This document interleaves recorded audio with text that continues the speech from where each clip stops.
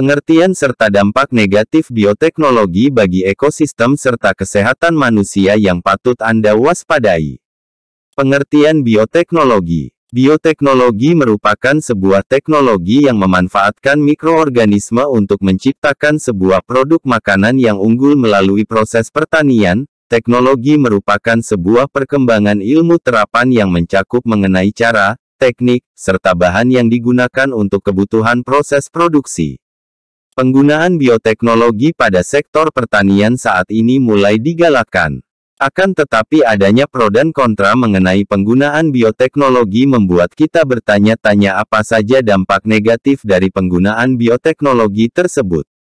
Dampak bioteknologi 1. Terjadinya toksisitas pada bahan pangan. Di antara contoh paling gampang dari efek negatif bioteknologi adalah tercemarnya bahan pangan. Kabarnya kedelai transgenik dapat menyebabkan masalah alergi yang cukup fatal saat dikonsumsi. Bukan hanya itu, diinformasikan bahwa pernah terjadi kontaminan toksik dari bakteri transgenik yang diperuntukkan ada makanan suplemen triptofan. 2. Produk bioteknologi mengandung GMO. Di antara dampak negatif penggunaan bioteknologi khususnya pada unggas adalah dapat meningkatkan resiko tumor.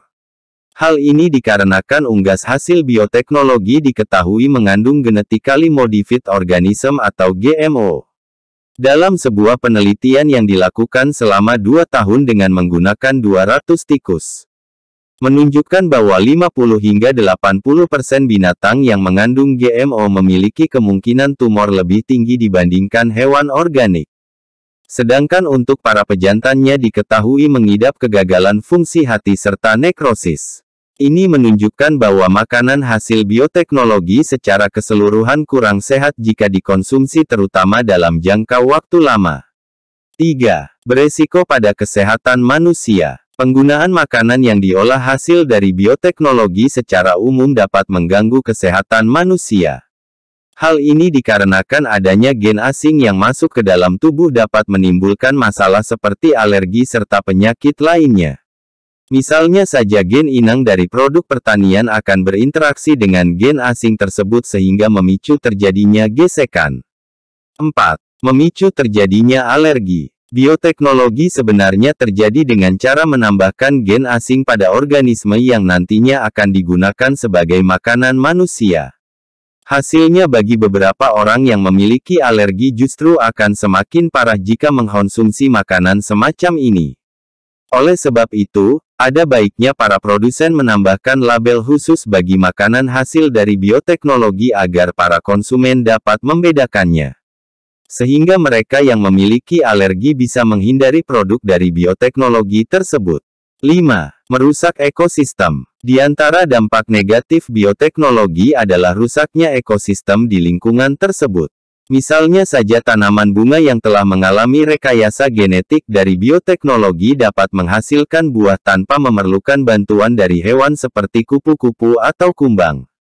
Di samping lebih mudah, akan tetapi hal ini tentu akan merugikan kehidupan kedua hewan tersebut sehingga mereka akan kesulitan dalam bertahan hidup. Jadi salah satu dampak yang paling nyata dari penggunaan bioteknologi adalah rusaknya ekosistem. 6. Tanaman tumbuh kurang sempurna. Meskipun salah satu manfaat bioteknologi adalah membuat tanaman menjadi lebih subur. Akan tetapi di sisi lainnya terkadang justru akan membuatnya tidak bisa berkembang dengan baik atau kerdil. Hal ini biasanya terjadi akibat dari proses transgenik tersebut akan banyak menyerap unsur hara sehingga pada panen selanjutnya buah akan mengalami penyusutan. Tentu hal ini cukup merugikan. 7. Resiko kemandulan pada hewan. Meskipun penggunaan bioteknologi memiliki banyak manfaat akan tetapi nyatanya proses transgenik ini ternyata memberikan banyak dampak yang kurang baik khususnya bagi makhluk hidup. Salah satunya adalah hewan yang mengkonsumsi makanan hasil dari bioteknologi dapat meningkatkan risiko mengalami kemandulan. Hal ini tentu sangat berbahaya sekali terutama bagi mereka yang sedang memelihara ternak.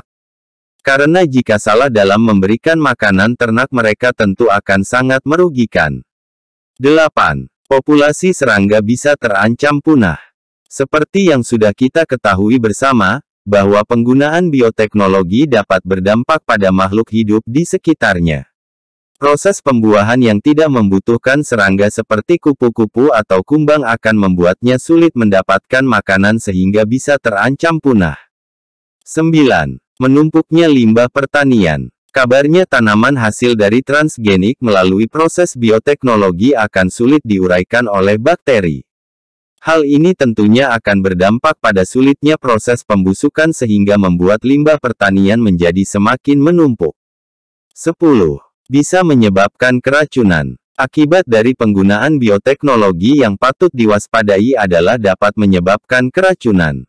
Proses transgenik pada tumbuhan akan memasukkan gen asing ke dalamnya sehingga dikhawatirkan dapat memicu keracunan.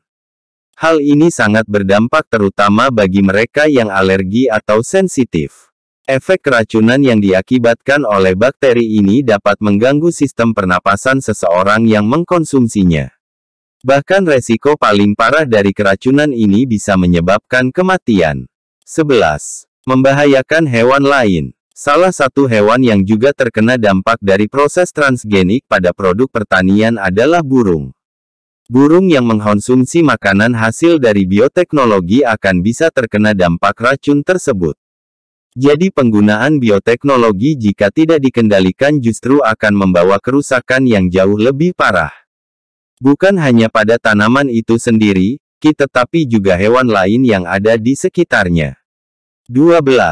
Bisa mengancam kesehatan tulang. Dampak negatif bioteknologi yang cukup serius adalah terganggunya kesehatan tulang saat mengkonsumsi makanan hasil transgenik tersebut. Ini tentunya merupakan hal yang perlu diwaspadai untuk tidak terlalu sering mengkonsumsi makanan hasil dari bioteknologi.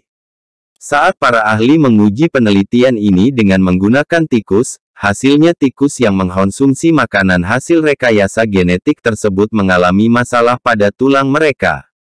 Para peneliti menyimpulkan jika hal ini dikonsumsi oleh manusia maka kemungkinan besar dampaknya akan sama. Cara menghindari dampak bioteknologi Secara umum kita bisa meningkatkan produksi tanpa memanfaatkan bioteknologi sekalipun tentunya dengan cara-cara yang jauh lebih alami dan aman. Berikut beberapa langkah yang bisa dilakukan untuk mencegah dampak bioteknologi tersebut. Meningkatkan peralatan pertanian. Salah satu yang mendasari penggunaan bioteknologi dalam pertanian adalah kurangnya peralatan pertanian sehingga produksi kurang maksimal. Jadi dengan meningkatkan peralatan pertanian yang lebih canggih maka diharapkan penggunaan bioteknologi bisa dikurangi. Memang diakui atau tidak penggunaan bioteknologi sebenarnya bertujuan untuk menekan angka kelaparan khususnya di negara berkembang.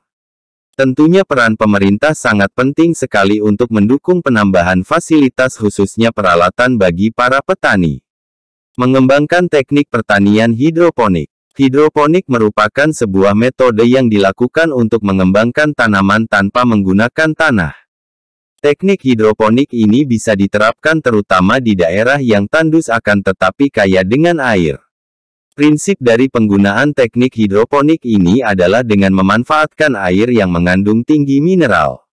Mineral tersebut akan dengan cepat diserap oleh tanaman sehingga membuat perkembangannya bisa lebih maksimal. Jika hal ini bisa diterapkan dengan baik maka penggunaan bioteknologi bisa dikurangi sehingga dampaknya pun bisa dicegah. Memberikan pemahaman bagi para petani. Di samping memberikan pemahaman mengenai dampak negatif bioteknologi bagi kesehatan dan ekosistem, pemerintah juga harus memberikan pembekalan yang cukup agar para petani dapat bercocok tanam dengan baik. Jika para petani sudah memahami mengenai dampak yang bisa ditimbulkan dari penggunaan bioteknologi, maka mereka akan menggunakan metode alami misalnya saja dengan memanfaatkan serangga tertentu untuk membasmi hama pengganti bahan kimia. Demikian tadi ulasan mengenai pengertian serta dampak bioteknologi bagi kehidupan manusia yang perlu Anda ketahui. Dari ulasan di atas diharapkan Anda bisa memahami apa saja kegunaan serta kekurangan dari bioteknologi.